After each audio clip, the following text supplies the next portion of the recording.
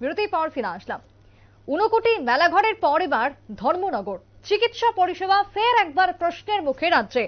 অভিযোগ উঠে আসছে, ধর্মনগর থেকে উত্তর জেলার হাসপাতালে শৌচালয়ে মৃত্যু হয় এক ব্যক্তির, এমনটাই অভিযোগ এবং পরিষেবা নিয়ে অভিযোগ তুলেছেন রোগীর আত্মীয় পরিজনরা ধর্মনগর জেলা হাসপাতালের পরিষেবা নিয়ে কার্যত ক্ষোভ, রোগী আত্মীয় পরিজনদের মধ্যে হাসপাতালের শৌচালয়ে চিকিৎসা করাতে আসা হাসপাতালে চিকিৎসা করাতে যাওয়া নান্টু শীলের মৃত্যুকে ঘিরে সাধারণ রোগী এবং আত্মীয় পরিজনদের মধ্যে তীব্র উত্তেজনা এবং চিকিৎসা করাতে গিয়ে শৌচালয়ে মৃত্যু হয় এমনটাই অভিযোগ তুলেছেন রোগীর আত্মীয় পরিজনরা। ঘটনাকে কেন্দ্র করে কার্যত রাজ্যের চিকিৎসা পরিষেবার দিকে প্রশ্নের আঙুল তুলছেন আরও একবার রাজ্যের রোগী সহ আত্মীয় পরিজনরা। আমরা দেখেছিলাম ঊনকোটির আহ, যে- চিকিৎসা পরিষেবা হাসপাতালের তাকে নিয়ে একাং- একাংশ অভিযোগ উঠে এসেছে। অন্যদিকে মেলাঘরেও ঠিক একই রকম পরিস্থিতি। তবে এবার ধর্মনগর হাসপাতাল ধর্মনগর জেলা হাসপাতালের পরিষেবা নিয়ে প্রশ্ন তুলেছেন রোগীর আত্মীয় পরিজনরা।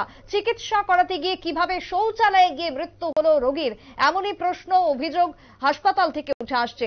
যদিও এই প্রসঙ্গে কি অভিযোগ ধর্মনগর থেকে উঠে এসেছে শুনুন। মিতালি।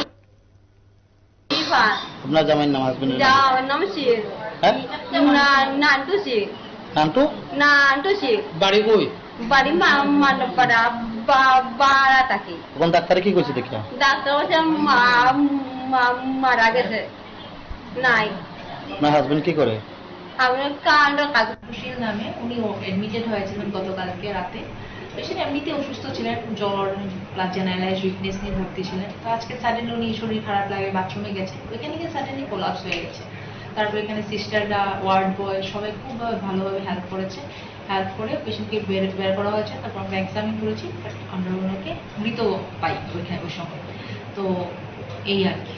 কিন্তু উনি একটু অভিযোগ করেছেন যে উনি যখন পড়ে যায় তখন উনি সবার কাছে হেল্প চাই চেয়েছেন। না না সবাই খুব হেল্প করেছে। এখানে যে সিস্টার ছিল ওয়ার্ড বয় ছিল ওরা গিয়ে ওনাকে না হলে ওনার ওয়াইফের পক্ষে পসিবল হতো না বের করা।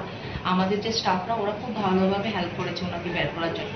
পেশেন্ট পার্টি অভিযোগ করা থাকলে তো আমাদের কিছু বলার থাকে না? এখানে অন্য কোনো ঘটনা? নেই না না এখানে কোনো ঘটনা আমাদের কাছে অভিযোগ ছিল যে নাকি আধা